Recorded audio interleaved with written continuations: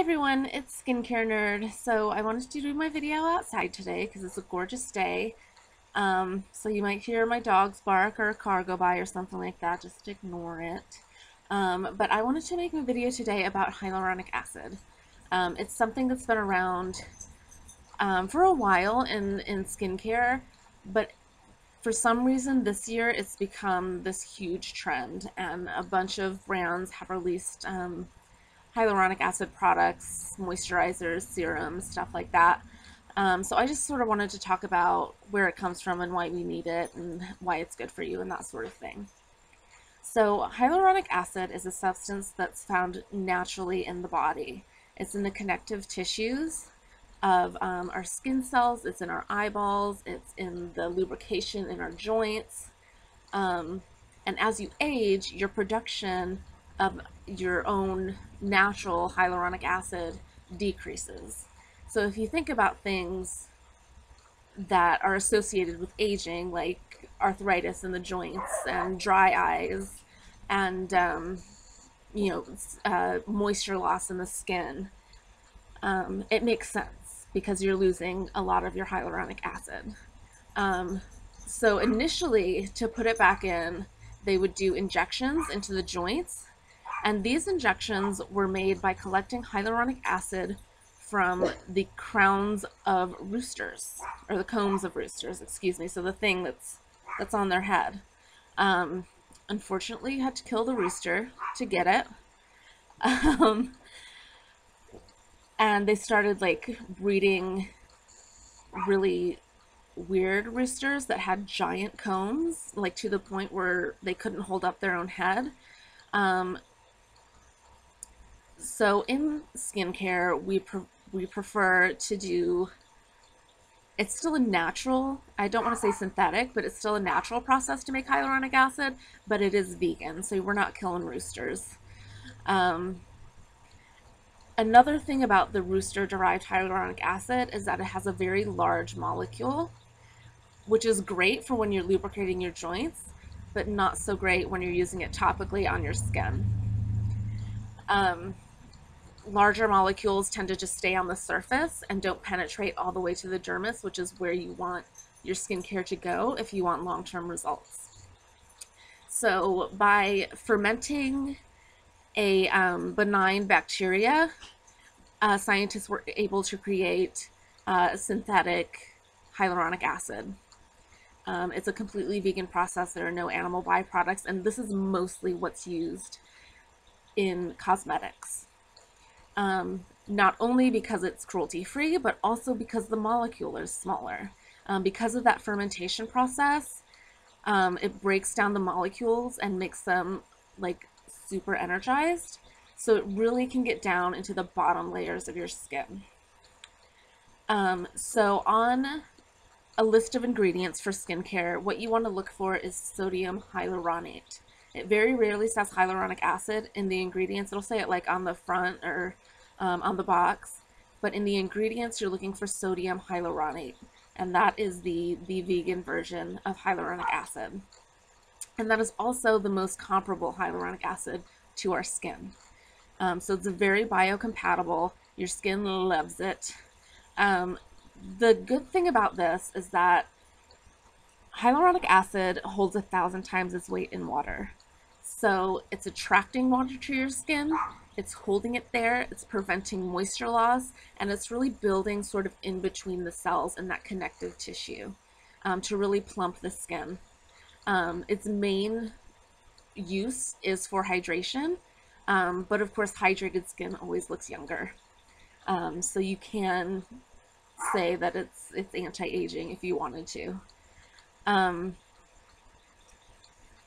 A recent trend with all the um, all the hyaluronic acid products that have come out recently.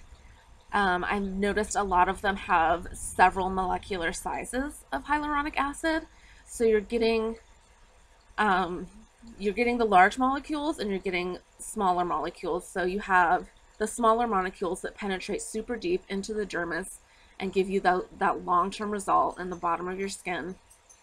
And then you have the larger molecules that sit on top, which give you the immediate hydration effect. Um, so it's really going um, sort of getting more in depth with the and more complicated with the hy- hyaluronic acid. Um, and I will post a list of those products, um, the products that I recommend um, that have several molecular sizes of hyaluronic acid. I'll post that into the in the description. One of them, though, is something that I really love. It is the Tidal from Sunday Riley. This is one of my absolute favorite moisturizers. I use it day and night. It has two molecular sizes of hyaluronic acid, and it's just this light, um, sort of gel-like texture, so it doesn't feel like you're wearing a super heavy cream, but you're still getting an incredible amount of hydration. Um, another product I really like is the Water Drop Moisturizer from Dr. Jart. This melts into your skin like water. It's absolutely amazing. I'm not sure how many molecular sizes are in there, but it definitely has that sodium hyaluronate in it, um, which just makes it ultra hydrating. Um, so most of the the hyaluronic acid you'll see is going to be in either moisturizers or serums. Um, I just showed you two moisturizers. Some serums that I like are the Peter Thomas Roth. It used to be called Vise 1000, which is what I have, but it recently went through a repackage and rename. So it's called Water Drench now, but it's still the same exact formula. Um, I also like the Hyaloplasma from Dr. Perricone and the Hyaluronic Acid Serum from Skin Inc.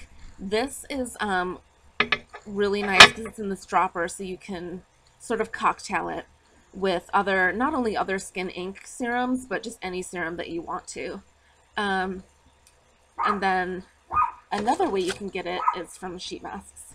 And I really like these two. This is the Tony Moly Master Lab Hyaluronic Acid, and this is the Face Shop The Solution Hyaluronic Acid Sheet Mask. Um, they're both really fantastic, um, and I highly recommend them. But when you're looking for a product with hyaluronic acid in it, you want to make sure it doesn't have too much. So hyaluronic acid just by itself, 100% hyaluronic acid, is actually a powder. I know personally when I think of acid, I think of like a liquid, um, but hyaluronic acid is actually a powder.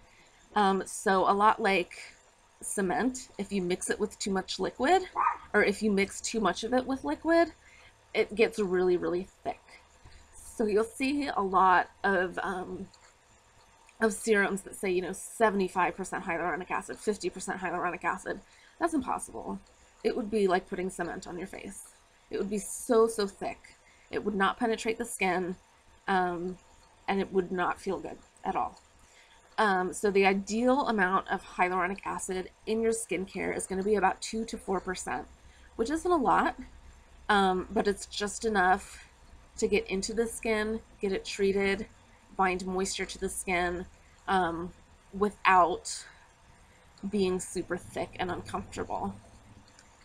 Um, if you do see a product that says like 70% hyaluronic acid or something like that, it's probably because they found some loophole and technically it's 70% something, but um, it's probably not 70% hyaluronic acid powder. Um, but yeah, that's all I think I have to say. I can't remember off the top of my head if I have anything else that I want to say about hyaluronic acid. Um, but definitely give it a try if you haven't. If you're dry skinned, um, even if you're oily skinned, you still need hydration. Everybody needs to hydrate year round. Hydration is the best thing you can do for your skin, 100%. So definitely check out some hyaluronic acid. If you want more um, product recommendations, look in the description. You can also follow me on Instagram, skincare.nerd. Um, I like to post like the masks that I'm using and my routines and stuff like that. So definitely follow my Instagram and make sure you subscribe and I will see you next time.